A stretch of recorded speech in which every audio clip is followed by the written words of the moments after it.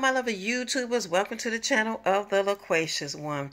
Yes, it's that time of the year. The warmer months are coming, and so are the pests. And I'm going to tell you, nothing ruins a cookout or a special event more than pests. And hopefully, no rodents.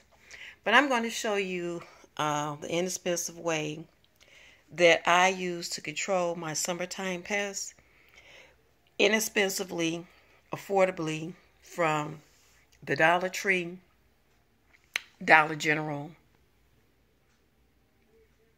and Family Dollar. Okay, we're going to start with going in the back of our haul. Hopefully, you don't have roaches. Okay, but I hate to say that word even. This is PIC Pest Free Living. It is for cucarachas is what it says. It's two traps. They pre-baited glue traps. I don't use this for roaches. I use it for any pestilence that may crawl across my floor and I keep them by every entrance door from the outside are going to a basement so I'll know what's possibly in my house. And I also put them under any uh, sink or basin or where water's at because those tend to attract some type of pest. So these I got from Dollar Tree and they are two traps in a box for a dollar. So you would simply put one by your door entrances if that's possible, wherever water's at, uh, basements, attics possibly. It lets you know if anything is getting inside of your house. That's what I use it for. And of course, if you have them, of course, you could use them uh, to get rid of them okay? But mine is just a way to monitor, make sure I don't have anything in my house.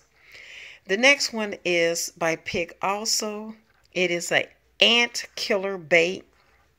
I don't have a, a lot of problems with ants, but if you have like an outdoor porch or enclosed porch area uh, where you do your summertime entertaining, and perhaps ants are there, you can consider these. Uh, they're from Dollar Tree. You get two bait traps in a dollar, uh, in a box for a dollar. And it says to kill ants except fire ants, harvester ants, feral ants, and carpenter ants. It does not kill those, but it does kill sweet and grease eating ants, pavement ants, odorous ants, and little black ants.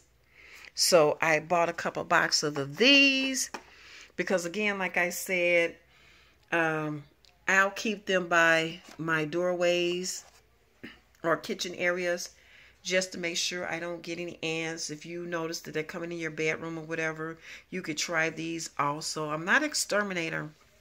I just use stuff to deter. You know, this is this is just deterrent for me. It, I'm not going to say if you have a awful problem that you should use this to alleviate it, I think you should perhaps get an exterminator. But I'm going to tell you what works for me. I don't want anybody to say, oh, I wasted my money and it caused a health problem perhaps or you have to be cautious with this stuff especially if you have kids and animals also read the container really really well and know what's in it okay another thing i purchased is this chase mm insect repellent. It says it provides continuous protection that lasts up to three hours against mosquitoes. It repels mosquito chiggers, ticks, deer flies, stable flies, black flies, gnats, fleas on exposed skin area, and deer ticks that may deer ticks that may transmit uh, Lyme disease. And this contains 15% DEET. So you should know that about this. And it's two ounces. So I'm under the impression, or at least it's my belief, people question it because it costs a dollar. Uh, has it worked? It has worked. I can't say it hasn't worked, but anything is better than nothing. So when I go in areas, because I'm very frequently in the wooded areas, I live around woods. I'm practically surrounded by either woods or water. And I will enclose my pant legs. If you, you know, if you know you're going in a wooded area, wear protective shoes and socks, uh, pants that cover your legs. And if you if you're walking through the grassy areas, it would be good to take rubber bands and even rubber band your pants leg. And then I spray the bottom of my pants leg and shoes with insect repellent and of course any exposed skin area you know uh, because i mean oh last summer and the year before we had just ticks that were literally i seen ticks literally on people i don't know what was going on with that uh, but again you have to be cautious and i do know someone who fell victim and lost their hearing because of the Lyme disease. So you have to be really careful, folks. Not to scare you, but be very careful. So you want some insect repellent. If you could buy a better one, that's good too. But if you just have to have something, this has 15%. You can compare it. You can ask the medical practitioner, veterinarian, whoever is knowledgeable of that. Do the research. But I do use this. This is Killzone Indoor and Outdoor Insect Spray. It is a water-based formula and it kills flying and crawling pests including gnats, flies, ants, spider, bed bugs, and other insects. I am not going to say this definitely kills because I noticed it said bed bugs. I am just telling you what it says. But if there's a flying insect, which is rare, but if it's bothering me and bothering me in the area, I will spray that sucker. But be very cautious with this stuff.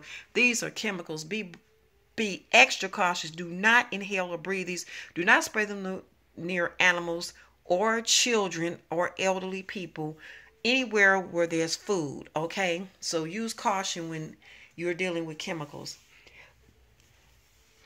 Okay, another thing I did. Oh, crazy! I can't hold anything.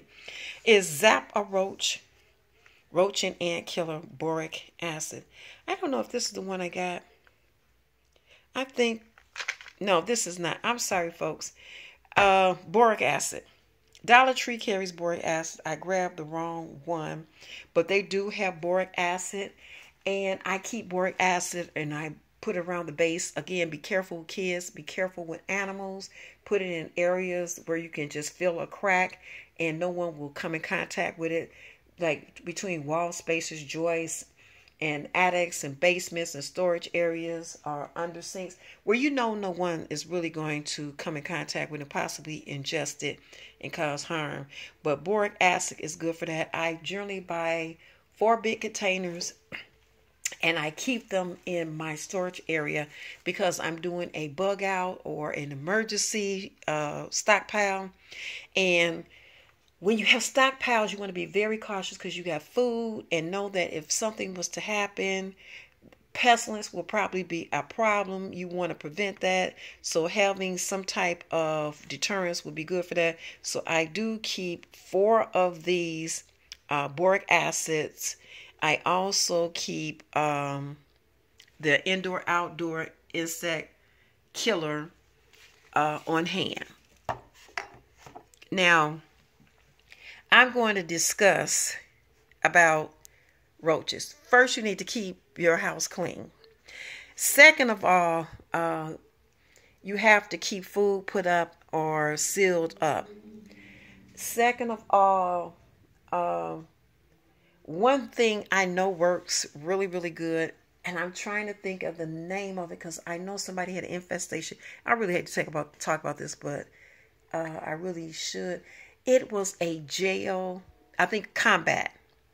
And um, my girlfriend had an apartment building, and the people that lived there, it, it was infestation of roaches, just to just be blank and cure. Through a exterminator from uh, a job I was on. He told me about combat. It was something in it. I don't know what it was, but the combat gel. She put it down and the roaches were gone. She may have done it a t- total of two times in that building, but that combat gel, if you can get your hands on that, if you have um, a roach problem, I guess works well. She has not seen them, so uh, I know I haven't seen them in her building, so I can attest to that. So that's the only thing I know about what works with roaches. I haven't heard anything else. Um, if you have mice, um, and I'm scared to death of mice. Ugh, just thinking about them. I'm so sorry. But you have to know you have to find out the source of which they're coming into your house. And I think you use steel wool, which you can get at Dollar Tree, and you have to stuff those openings or seal them so they don't get back in. I could not use mouse traps. I don't think I really ever could if I had them. Uh, I've seen Dollar Tree has sticky trays for that. I don't purchase them because I don't have infestation of mice.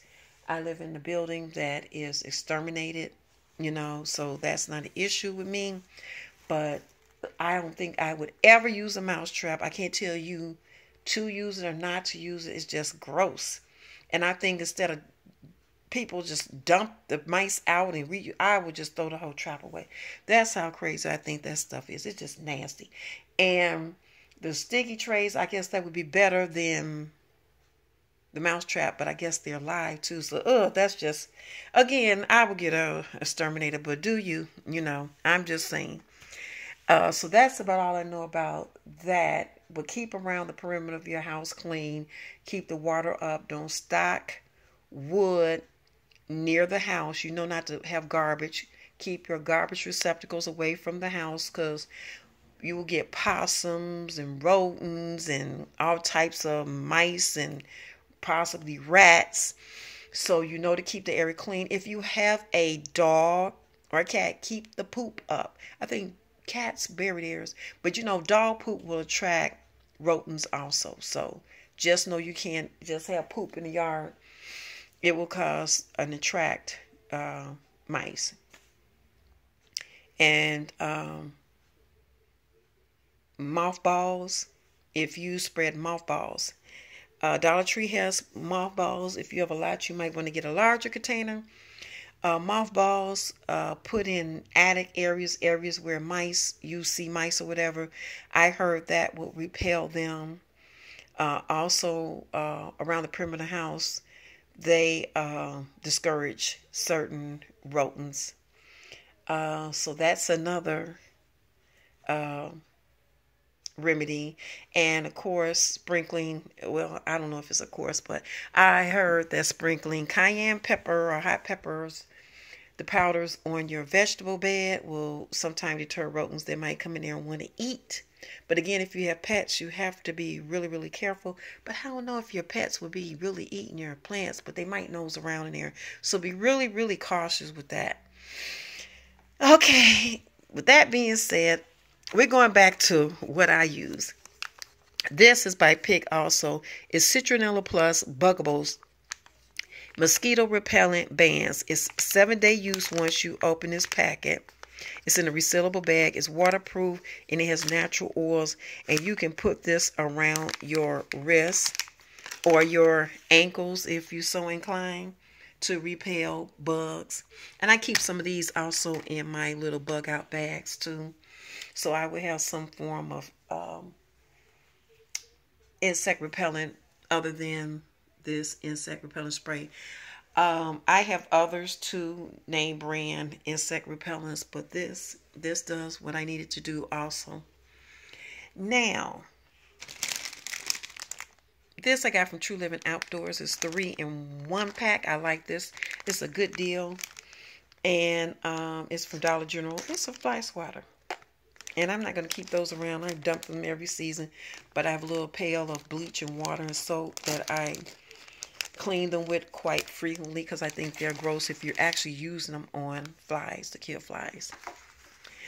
And ooh, please watch the area where you kill it at. I wonder where people are killing flies at in their house.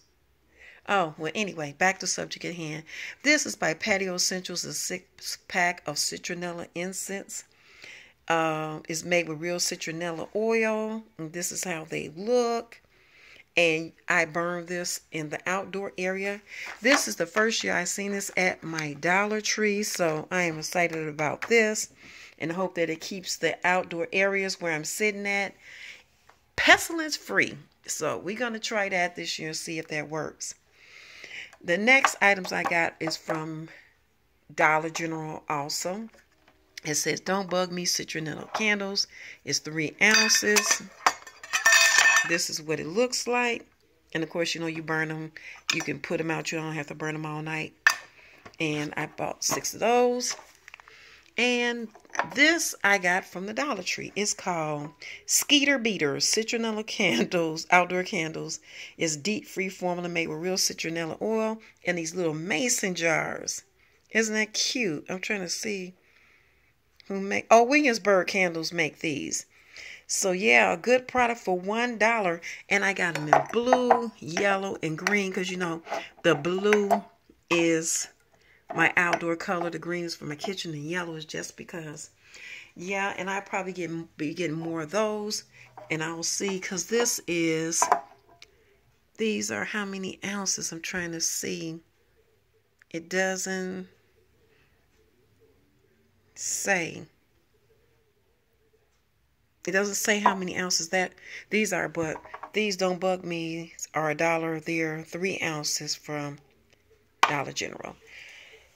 Okay, so folks, I've shown you how I get rid of outdoor pests from my mosquitoes and flying insects to ants that might come our way, uh, roaches, or any other crawling bugs that might crawl across surfaces. I use these roach prisons for. I got insect repellent that you spray on your clothes, or I don't recommend spraying DEET on your skin. But if you have to and you do use and you're okay with it and you you have no issues, this is alternative to the more expensive brands. Are they as effective? I don't know, but it contains 15% DEET. So that's something you have to discuss with your physician or do the research on. And this is for indoor and outdoor uh, insect. Uh, it's a spray formula, so you have to be really careful there. But I will spray a sucker flying and don't want to get out. You're going to get out. Um, here is boric acid. When you see it, purchase it and put it down in cracks where nobody can touch it, like animals or kids, uh, in inconspicuous places to keep your home pestilent free. I believe in prevention, so every about every three or four months I will put these in the cracks just to make sure nothing is coming my way.